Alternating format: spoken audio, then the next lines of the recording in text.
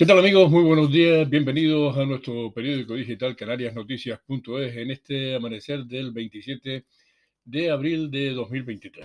Vamos a empezar con unas impactantes imágenes que eh, se produjeron ayer en Corralejo, en el municipio de Oliva, en Fuerteventura.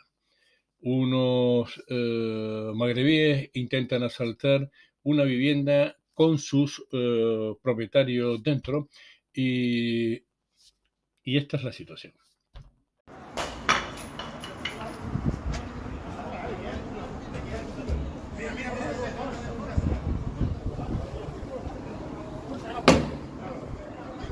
¡Estás muerto! ¡Que lo sepas! ¡Estás muerto, puto de mierda! ¡Te voy a matar! ¡Te voy a matar!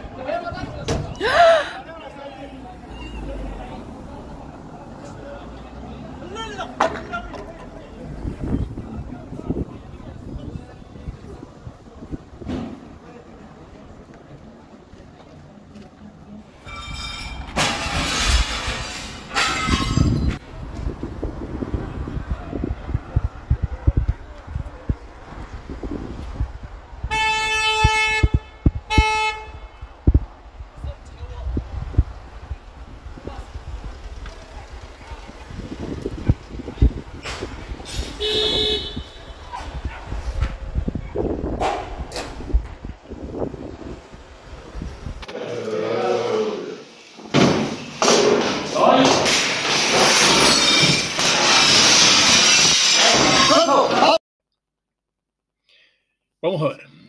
¿Ha intervenido la policía? En estos momentos no lo sabemos, pero lo que sí sabemos es que si la situación hubiese sido la inversa, en donde unos canarios hubiesen apedreado y, e intentado asaltar una casa donde viviesen los magrebíes, ya estarían todos detenidos y puestos a disposición judicial. No tengo ninguna duda, ninguna duda de que esta es una sociedad corrompida, absurda, las instituciones.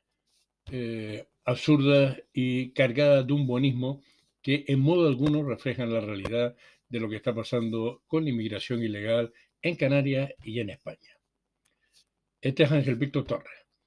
Vamos a hacer a lo largo de la mañana el programa que les prometimos, en donde estas declaraciones que hizo el otro día en Lanzarote las vamos eh, a ir declarando y contestando, porque no dice más que bobadas y mentiras.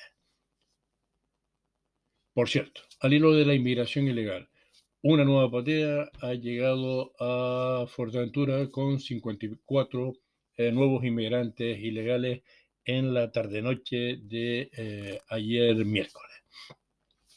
Suma y sigue. El descontrol inmigratorio eh, ya no es una evidencia, es una evidencia desde hace, desde hace muchos años. En Lanzarote han sido detenidos los asesinos de un joven marroquí en una parada de guagua en noviembre pasado. ¿Quiénes son los asesinos? Esta imagen es una foto fija eh, del vídeo de la policía en el momento de detener a los asesinos. Tres colombianos, dos marroquíes. Tres colombianos, dos marroquíes. Que asesinaron a otro marroquí en una parada de guagua en eh, Lanzarote. Vamos con el caso mediador. Nosotros no nos olvidamos del caso mediador. Eso está siguiendo su curso.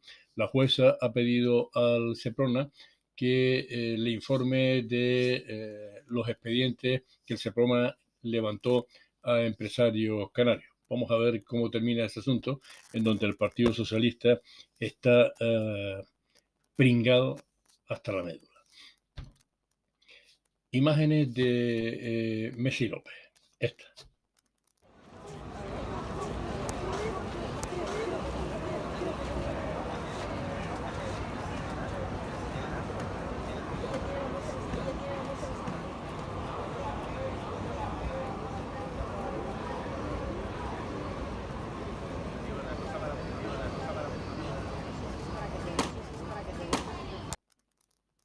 Breves imágenes para constatar que el dineral que se han gastado en Messi López con la excusa de la falsa Metro Guagua eh, está, está como está, eh, sucio, descuidado, levantado, en fin. Por último, los que recuerdan eh, la antigua entrada a Arguineguín por la carretera antigua antes de que se hiciera la autovía directa hasta Mogán, Recordarán que a la entrada de Guineín había un pequeño valle, la desembocadura del barranco, lleno de árboles eucaliptos. Un amigo de este canal nos ha mandado este reportaje que él mismo comenta y, y como en muchas otras ocasiones solo puede uno constatar el deterioro de la isla de Gran Canaria, tal y como la conocíamos, al menos yo, eh, desde que nací. Les dejo con esto y volvemos mañana más o menos a la misma hora. Hola, buenos días. Estoy en Arguineguín y me acabo de quedar asombrado porque aquí había una zona, un pequeño bosque con árboles como estos que les estoy mostrando y miren lo que ha pasado con, con esta zona de árboles. Aquí los tienen, los han cortado todos de raíz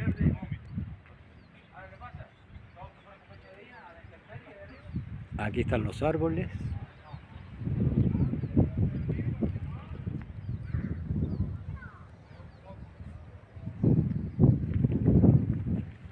Era una zona donde solía venir la gente a hacer asaderos, de acampada.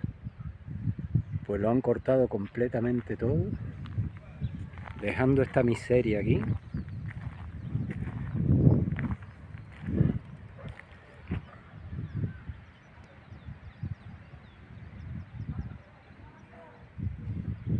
Me pregunto dónde están los grupos ecologistas.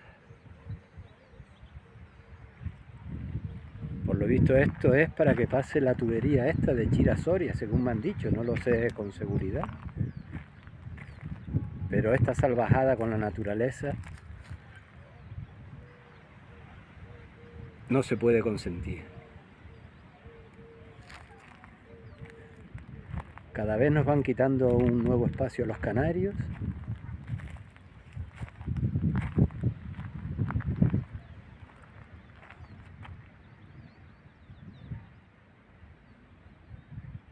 y cada día sobramos más en nuestra tierra. Todo este cerco que se ve vallado es el área que ocupaban estos árboles. Así era este espacio de Arguineguín durante muchos años. Había sombra, había vegetación y así es ahora.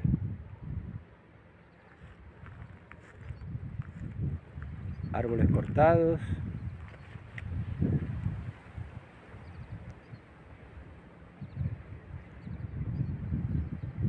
Naturaleza destruida. Agenda 2030.